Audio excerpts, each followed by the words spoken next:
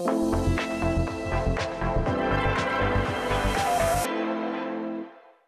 Bonjour à toutes et à tous et bienvenue dans l'école du futur. Voici euh, le programme du jour. On va commencer d'abord par retrouver notre famille tout écran. On sait que vous les adorez. La série qui nous est proposée par notre partenaire Le Clémy. On découvre un nouvel épisode euh, ensemble dans un instant. Et puis elle est là avec nous en plateau. Elle s'appelle Jeanne Dreyfus et toujours elle a une idée derrière la tech. Bonjour Jeanne. Bonjour. Soyez la bienvenue sur le plateau de l'école du futur. De quoi allez-vous euh, nous parler aujourd'hui? Eh bien d'une profession essentielle au cinéma et qu'on connaît pourtant peu, celle d'illustrateur sonore, aussi euh, connu sous le nom de sound designer. Sans eux, de Jurassic Park à Dune, le cinéma ne serait pas ce qu'il est. Bref, on part à leur rencontre tout à l'heure. Et puis plusieurs questions aujourd'hui dans l'émission. TikTok est-il le fléau de toute une génération? Nos enfants livrent-ils leurs données personnelles aux ambitions d'une dictature parmi les plus autoritaires au monde? On va discuter euh, réseaux sociaux, nouvelles technologies ou encore fuite des talents à l'étranger avec notre invité. Il s'appelle Fabrice Zera et il est en duplex aujourd'hui avec nous. Bonjour Fabrice. Bonjour à tous. Soyez le bienvenu euh, sur l'école du futur. Vous êtes chef d'entreprise et auteur de ce livre Tech ou Talk, ChatGPT, métavers, crypto-monnaie, NFT, les nouvelles technologies passées au crible. On en parle dans un instant, Fabrice, si vous le voulez bien. D'abord, place au focus. Et on retrouve notre famille tout écran. Et au programme du jour, pour faire sortir leurs parents d'un marathon télé, les enfants de la famille n'ont d'autre choix que d'employer la manière forte. On découvre ça tout de suite. Chérie, on y est presque. Et voici le douzième épisode de Choses étranges. C'est parti. Je sais pas comment ils font. Moi, j'ai tellement sommeil. Ah.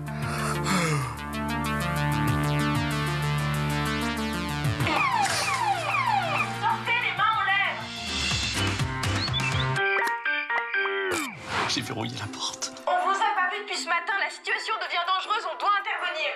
On comprend, c'est votre série préférée, mais là c'est n'importe quoi. En plus, Juliette, elle nous avait des épinards pour ce midi. J'aime pas les épinards. Et qui va m'aider pour mes maths aussi? Non, puis il y a une drôle d'odeur dans la chambre de Mélina. J'ai dit que j'aime pas les épinards. Sortez prendre l'air, il y a plein de choses à faire. Non, gardez la maison pour vous, mais ici c'est notre territoire, on y fait ce qu'on veut. Exactement.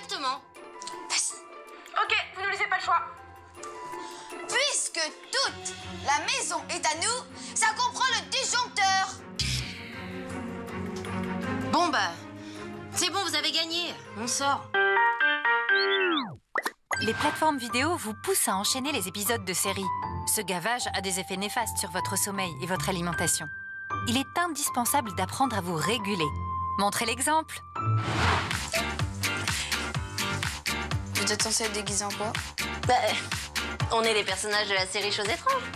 J'ai vu les choses étranges, ouais. A un gars. On serait déguisé.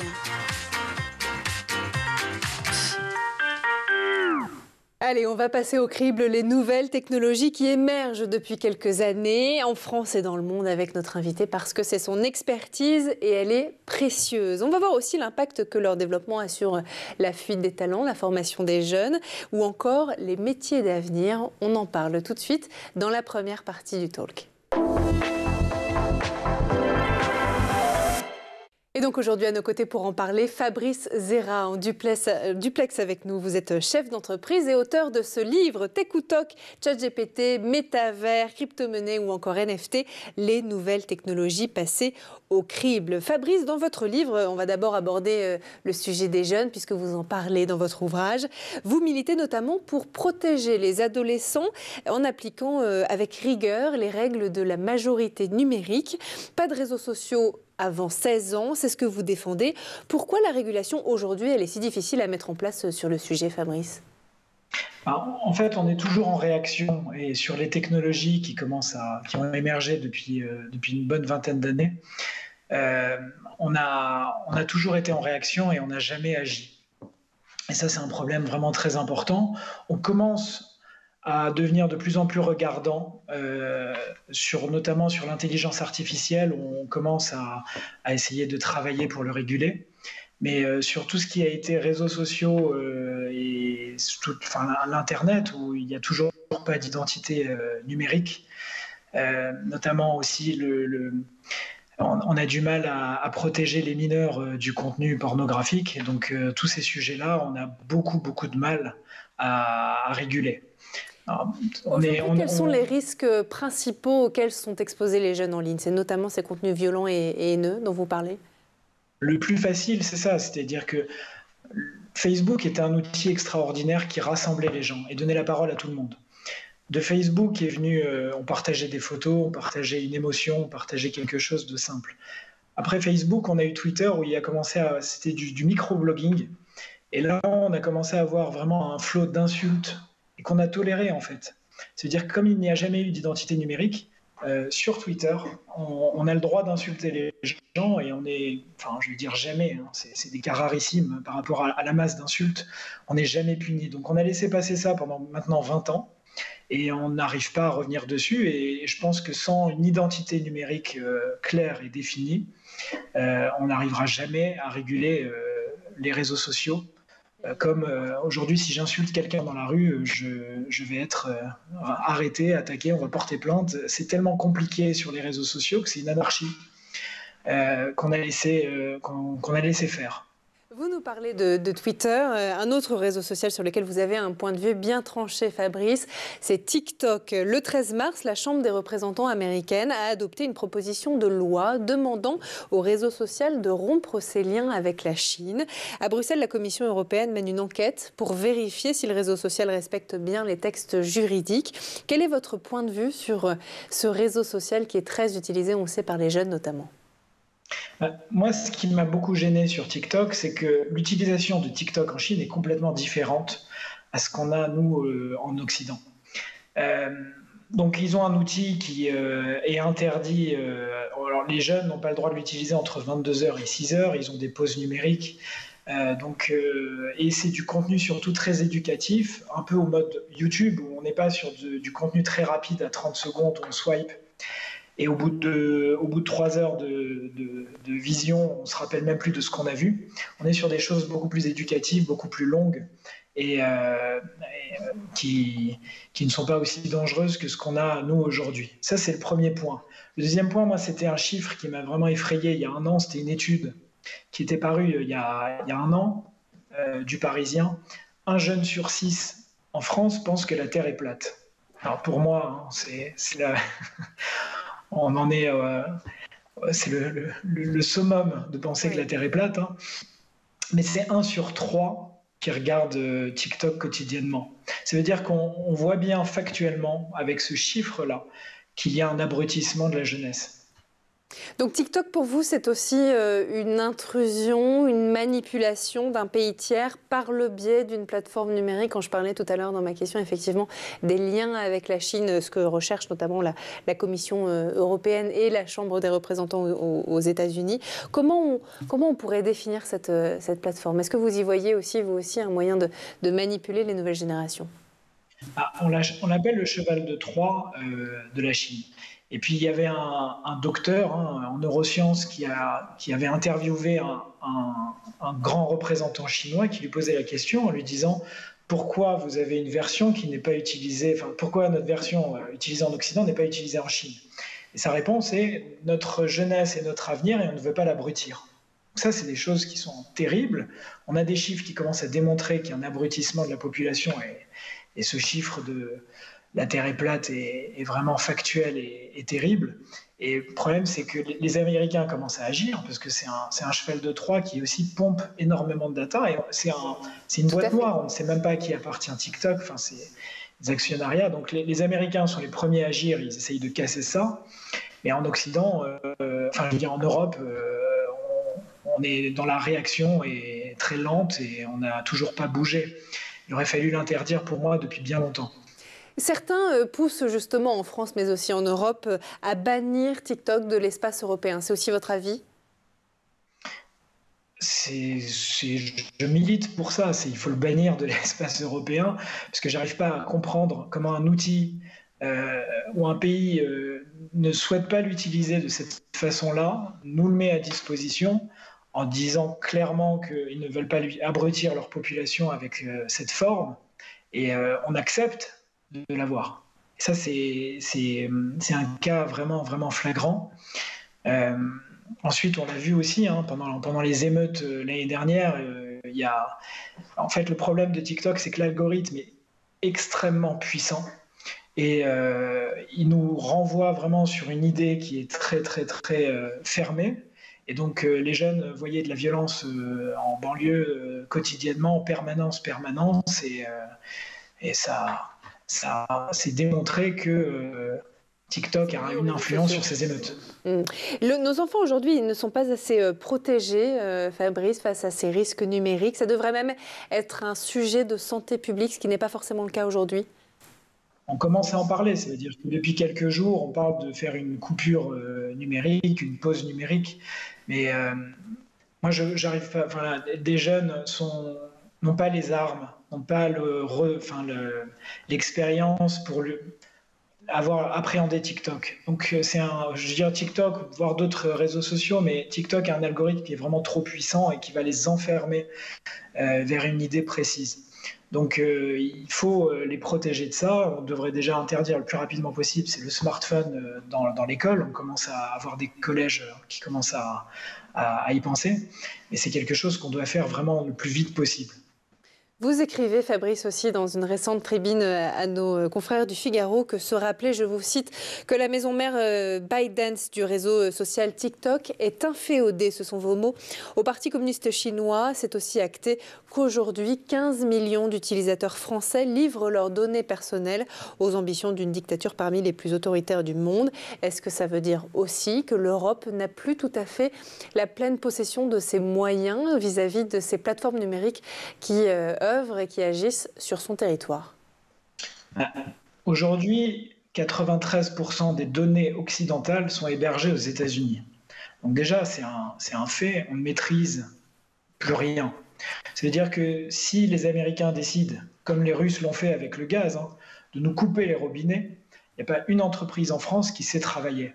Donc déjà, on est dans, euh, ce risque-là, on est dans cette rupture-là.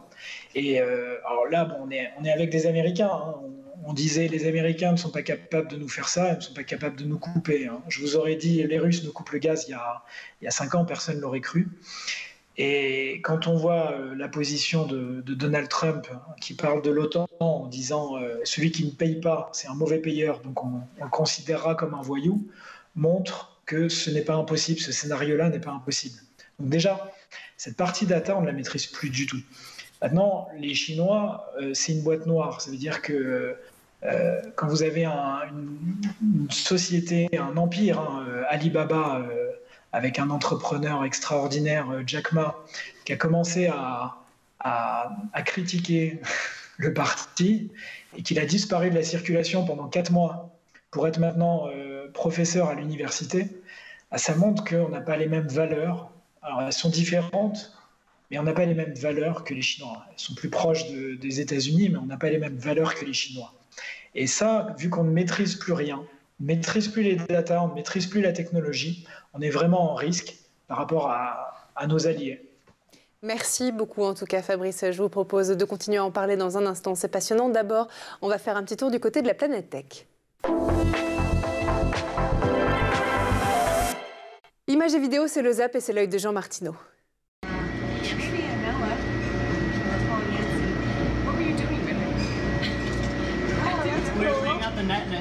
Flopped out. Oh, oh, okay. I thought that was the one that was already in here. I'm like, I thought it was you took.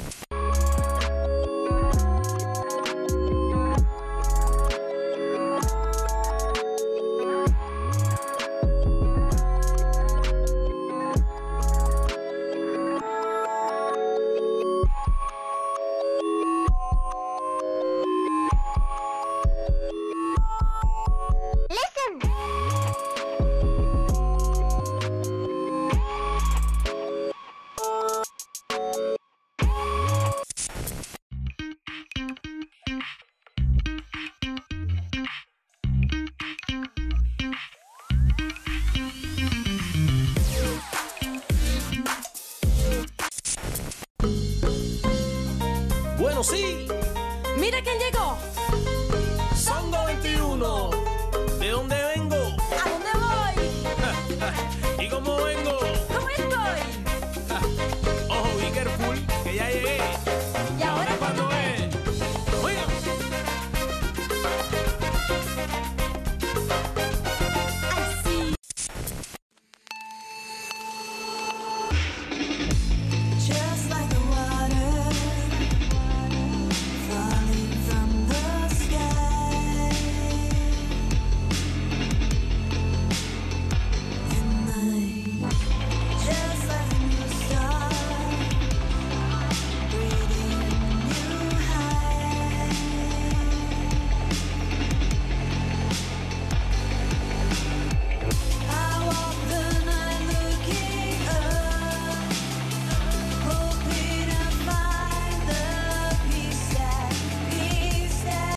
Et on est de retour toujours sur le plateau de l'école du futur et en compagnie de notre invité en duplex aujourd'hui, Fabrice Zera, chef d'entreprise, auteur. On va continuer à parler ensemble, Fabrice, de- des nombreux sujets que vous abordez dans votre livre. D'abord, on va laisser place à la chronique de Jeanne Dreyfus qui a une idée derrière la tech. Jeanne, vous nous parlez aujourd'hui d'une profession essentielle au cinéma et pourtant très peu connue, celle de sound designer. Absolument. Jurassic Park, Avatar, Dune, ces films n'auraient pas eu le succès qu'ils ont eu sans le travail acharné de Gary Ridstrom, de Christopher Boyce ou encore de Mark Mangini, trois sound designers multi-récompensés qui ont donné vie à des univers dont on ne peut enregistrer les sons, que ce soit la voix des dinosaures pour Jurassic Park, celle des habitants de Pandora ou encore celle de la planète euh, d'Arrakis pour Mark Mangini et Dune. Et pourtant, si l'on connaît le nom des réalisateurs, des acteurs, de certains, euh, de, de- de- voilà, de ces gens, eh bien, on ne connaît que très rarement celui euh, des sound designers, aussi appelés illustrateurs sonores. Qui sont pourtant absolument essentiels. Eh bien, absolument. Une récente étude du Monde a en effet souligné comment le travail de l'illustrateur sonore euh, de Dune, le sound designer Mark Mangini, eh bien, a été particulièrement ingénieux. Pour Dune et pour ses paysages inconnus, l'équipe a enregistré pas moins de 3000 sons réels que ensuite le sound designer a associé et parfois à plusieurs, associé plusieurs sons pour habiller eh bien, parfois un seul élément. Prenons l'exemple de l'ornithoptère, ce véhicule aérien mi-hélico, mi-libellule qui transbahute les collecteurs d'épices de la planète Arrakis. Pour ce son, Marc Mangini et son équipe ont, se sont pris la tête hein, pour trouver exactement le son parfait qu'ils devaient produire. Résultat, ils ont associé trois sons. Je vous le fais entendre pour que ensuite vous deviniez ce qu'ils composent.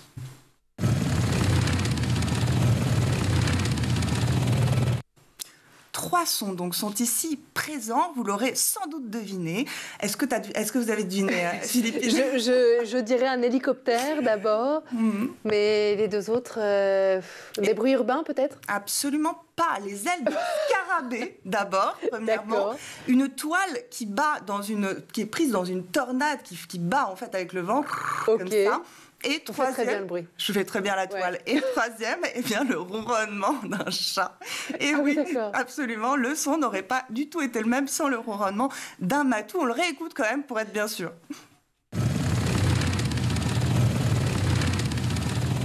Eh, moi, je suis incapable de faire ce bruit-là, je ne vais, pas le- tenter. C'était impossible, malgré tout, à reconstituer euh, numériquement. Jeanne, ils étaient obligés de créer à partir des sons réels. Eh bien, des études en neurosciences ont montré que le cerveau est plus réceptif au son réel qu'à n'importe quel son synthétique. De fait, à chaque son, en fait, nos sens et notre cerveau perçoivent un nombre élevé d'informations sur le monde. Mettons un animal ou un être humain, le son va indiquer le poids de l'animal ou de l'être humain, son âge par exemple. Mettons la marche d'un enfant, les enfants ayant les pieds plus plats, ça va s'entendre à, l'oreille. Autant d'informations qui donnent du fil à retordre au sound designer quand il faut accompagner par exemple une bestiole comme la libellule au début du film Men in Black. L'équipe des ingé eh bien, ils ont d'abord essayé différentes sortes de papier pour rendre la finesse, la légèreté des ailes. Ensuite, ils ont tenté, eh bien, pour rendre le bruit du claquement, euh, ils ont tenté tenté de faire buter des cartes de jeu contre les rayons d'une roue euh, de vélo en mouvement. Échec. Ça rendait pas les changements de vitesse, ça rendait pas l'irrégularité qu'il y a dans le mouvement de l'être humain. On le voit là, euh, enfin de l'être humain ou en tout cas de l'être libellule en l'occurrence. On le voyait ici à la fin. Il avait trouvé sa réponse dans un ventilateur facial avec son pouce. En fait, il faisait, il pouvait faire varier le rythme et ça donne ça.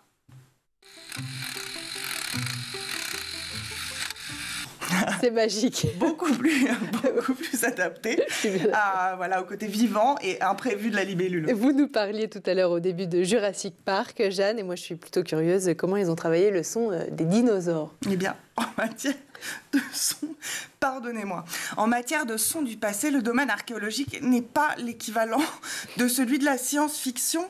Des squelettes nous étant parvenus qui nous donnent des informations. Vous voulez que je recommence? Non, c'est parfait, on continue. Ah, on se marre bien sur le plateau de l'école du futur. Le bruit de la libellule, visiblement, a quelque peu gêné Jeanne. Bon, pour ce qui est du T-Rex, en tout cas, de Jurassic Park, eh bien, Gary Ridstorm, le l'ingé son, avait composé ce son-là. Je vous laisse écouter.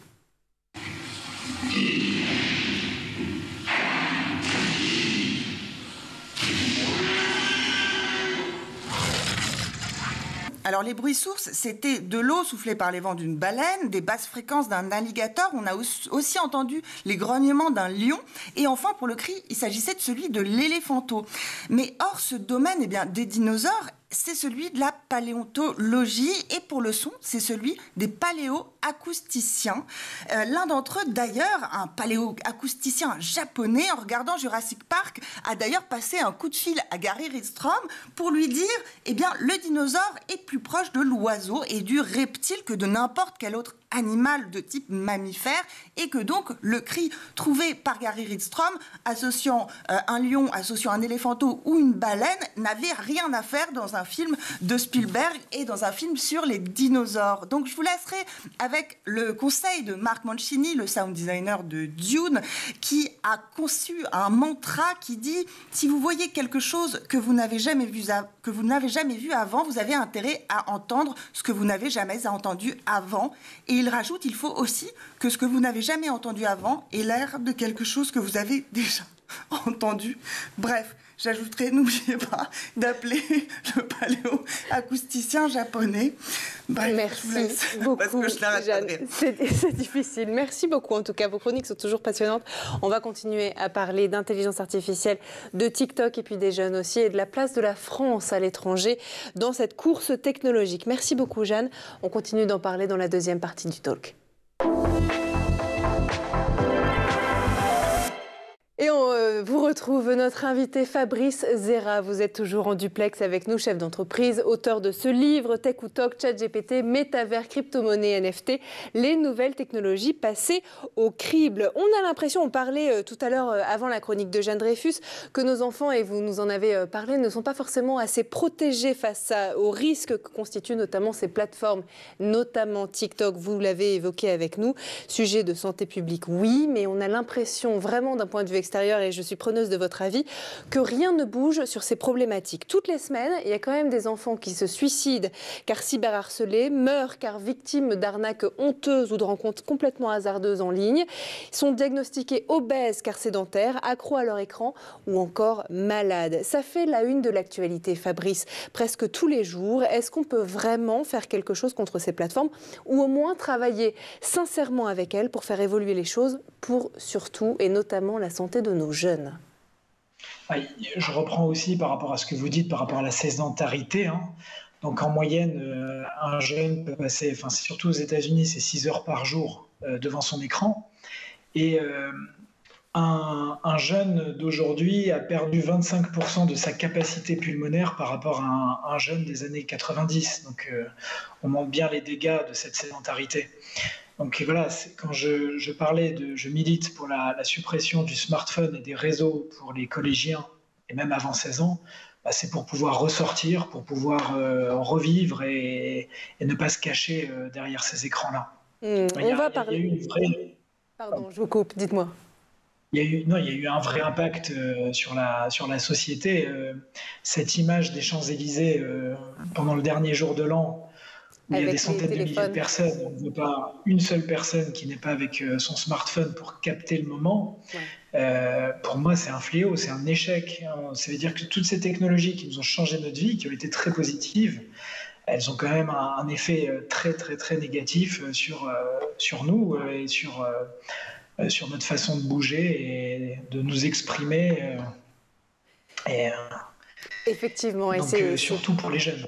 Effectivement, merci beaucoup en tout cas. Je voudrais aussi qu'on fasse le lien avec la place de la France euh, dans la compétition euh, technologique euh, mondiale. Parce que pour aider le travail de certaines industries, notamment technologiques, on en a parlé, vous défendez dans votre livre l'idée, je vous cite, que les robots peuvent nous aider à réindustri- ré- réindustrialiser notre pays. Depuis plusieurs années, la Chine investit massivement dans la robo- robotisation de son industrie et devance désormais les États-Unis.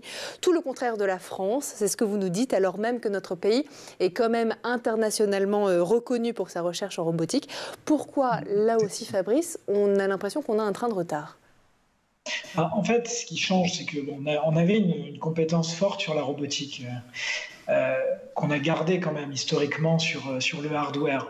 Mais ce qui va vraiment changer la révolution, ça va être clairement de connecter un robot à une intelligence artificielle qui a une intelligence d'un polytechnicien. Euh, on dit qu'elle est plus intelligente qu'Einstein. Donc, euh, c'est cette, euh, c'est de mutualiser les deux et comme on ne maîtrise rien sur l'intelligence artificielle, c'est là où on, va prendre un retard énorme sur le robot. Le robot va nous changer notre vie. Je parlais du robot, le premier robot qui est arrivé dans le foyer, c'est la machine à laver, le lave-linge, lave-vaisselle. Ça a permis à la femme de, s'émanciper, ça a permis à la femme de beaucoup plus travailler. Donc ça a eu un impact social énorme.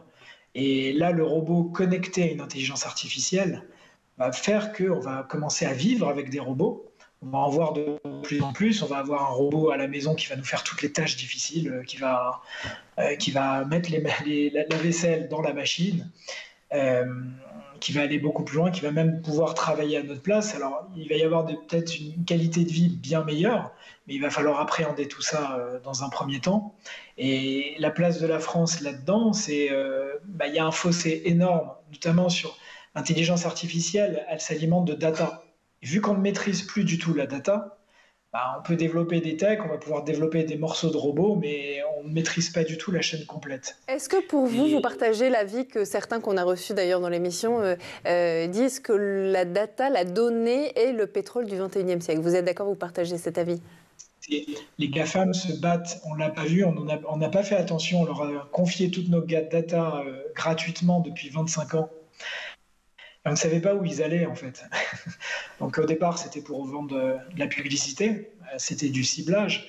Et là, on voit bien, euh, il y a, l'exemple le plus parlant, c'est OK Google, vous savez, les Google Home qu'il y a dans, la maison, bah, c'est des espions qui vont collecter toute la data, qui vont collecter l'information. Et moi, j'avais lu il y a une dizaine d'années, l'objectif final, la finalité d'Amazon, c'est de vous livrer le produit avant que vous le pensiez. Et donc, c'est l'analyse de, de- de toutes vos discussions dans la maison. Bah, c'est tiens, hein, il y a pratiquement plus de couches. Et puis, vous allez recevoir euh, le lendemain euh, les couches euh, à la maison. Donc, euh, je ne vais pas dire que c'est- de la data, tout ça. C'est de l'espionnage. Mais on est déjà espionné depuis, depuis une vingtaine d'années. Mais c'est prouvé, ça, Fabrice Parce que ça fait, la, ça fait la une des journaux. Vous, vous parlez de, de, Google, Google Home, effectivement, qui serait euh, des, espions euh, au sein de nos foyers. Est-ce que c'est prouvé ou est-ce que c'est juste pour faire la une de, l'actualité? On se pose la question quand même. Non, c'est pas. moi, ce que, ce que je. Il y a plein d'interrogations et je vous mets au défi de le tester. C'est-à-dire, vous allez parler de serpents euh, toute la journée, enfin pendant trois jours, et vous allez avoir du contenu euh, sur TikTok. euh, vous allez voir des serpents, des vidéos de serpents. Vous pouvez tester sur tout ce que vous voulez. Vous verrez que à terme, vous allez retrouver ces vidéos-là. Donc, alors personne ne l'a démontré, mais forcément, il y a un enregistrement passif euh, qui est fait les Google Home obligatoirement, ou même le, le- le OK Google obligatoirement enregistre, parce qu'il attend la donnée. Donc il est toujours à l'écoute. Maintenant, où vont ces datas? On n'en sait rien. Alors il y a eu des scandales avec euh, les télés connectées où euh, bah, ils, récupéraient euh, les flux vidéo, les flux vidéo, mais sur tout ça, ça reste des, des boîtes noires. On ne maîtrise pas ces informations. Il y a encore euh, pas mal de sensibilisation à faire, c'est ce que vous nous expliquez et surtout c'est ce que vous faites au sein de votre livre. Ça s'appelle Tech ou Talk, ChatGPT, métavers, crypto-monnaie, NFT, les nouvelles technologies passées au crible. Merci infiniment d'avoir été parmi nous aujourd'hui, Fabrice Zera. Je rappelle que vous êtes euh, accessoirement chef d'entreprise. Vous nous offrez une immersion euh, complète au cœur de la technologie, des nouvelles technologies et des puissances étrangères. Merci beaucoup d'avoir été parmi nous aujourd'hui. Merci aussi à vous, Jeanne Dreyfus, pour cette chronique. Merci à vous de nous avoir suivis. Et puis nous, on se retrouve dès demain, dès 12h30 sur School TV. Bonne journée.